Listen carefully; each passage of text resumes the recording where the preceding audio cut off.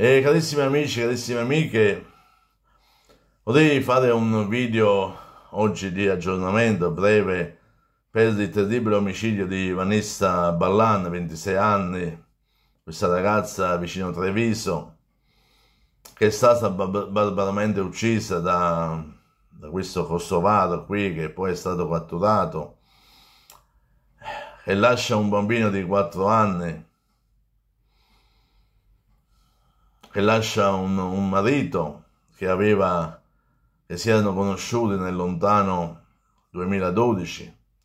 Lei su Facebook aveva la data in cui si era messa insieme a Nicola, questo, questo ragazzo che poi era diventato suo marito, 16 novembre del 2012. Insomma, il, il nord-est spesso protagonista di questi fatti di sangue.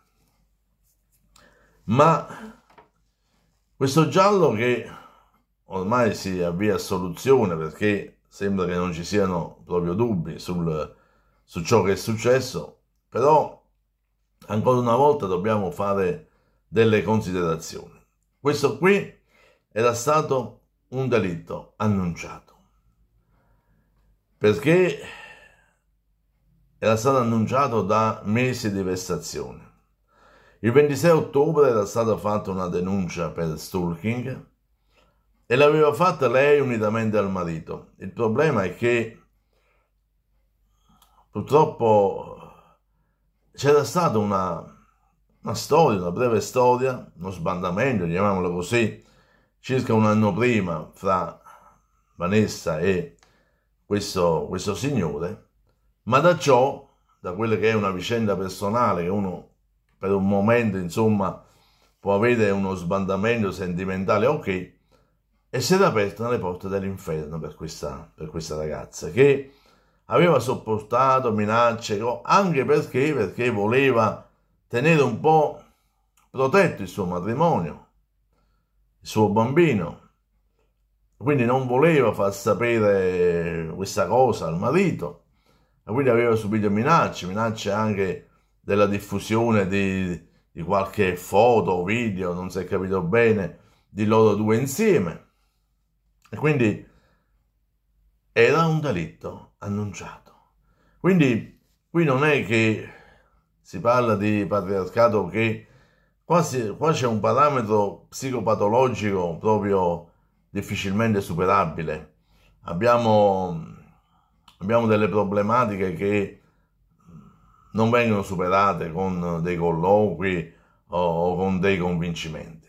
Purtroppo, purtroppo non c'è da fare niente contro queste, questi personaggi deviati che anche sui social postava de, de, de, dei video e delle, delle foto così eh, significative e pericolose. E era una persona ed è una persona molto, molto pericolosa. Quindi il problema qui è che queste donne vanno salvaguardate con altri strumenti.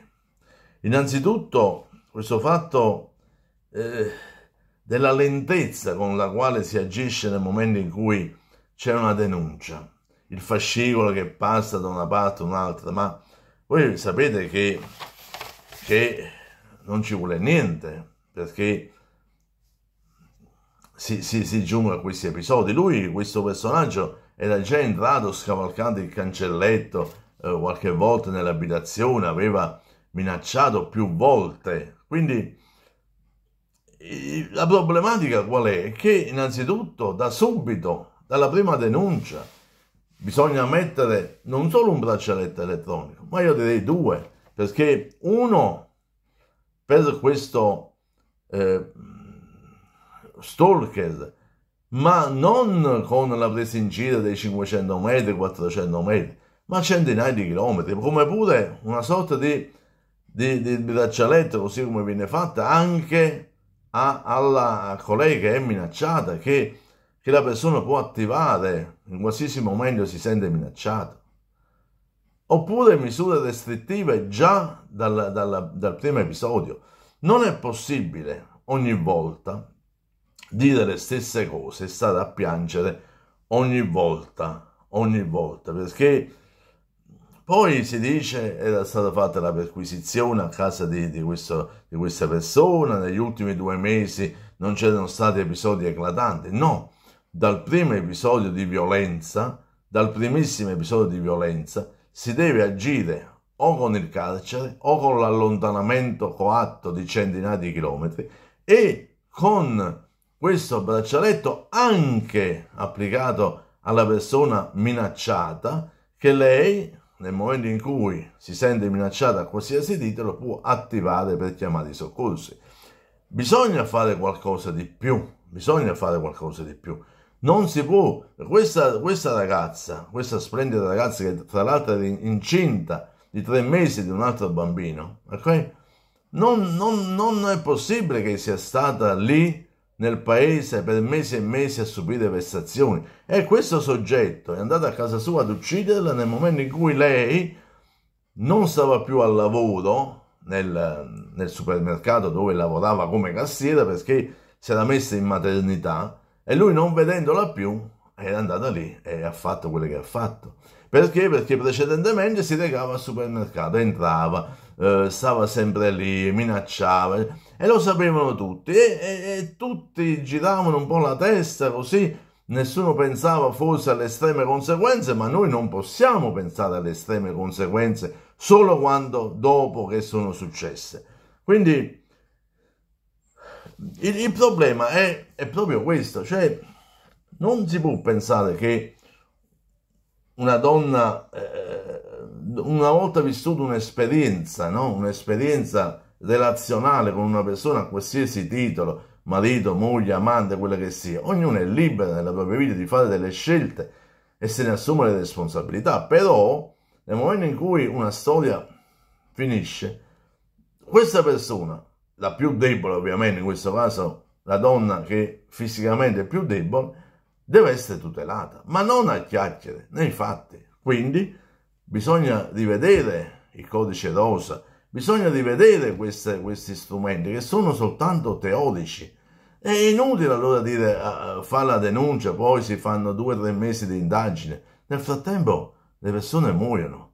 Quindi, per ricapitolare, secondo me, o il carcere immediatamente al primo episodio, oppure l'allontanamento di centinaia di chilometri con apposizione obbligatoria del braccialetto elettronico anche alla potenziale eh, vittima, diciamo, anche a colei che subisce eh, stalkeraggio, che lei stessa può attivare nel momento in cui ha sentore di qualche minaccia.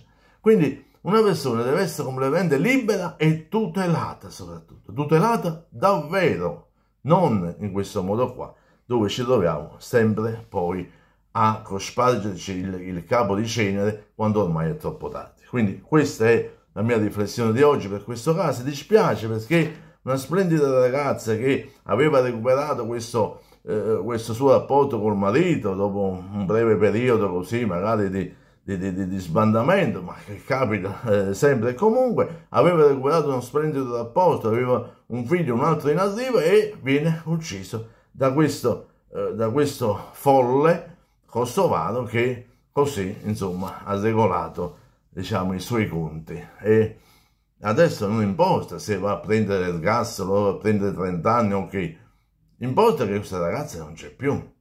Cosa fa lo Stato oltre che eh, fare delle leggi, le deve applicare in una maniera effettivamente che abbia un senso, abbia un significato, abbia una efficacia soprattutto. Ok, grazie, grazie amici miei, ci tenevo a dire questo, quindi per il momento vi saluto, condividete il video, diffondete il video tra tutti i vostri amici e come dico sempre un abbraccio a tutti quanti voi.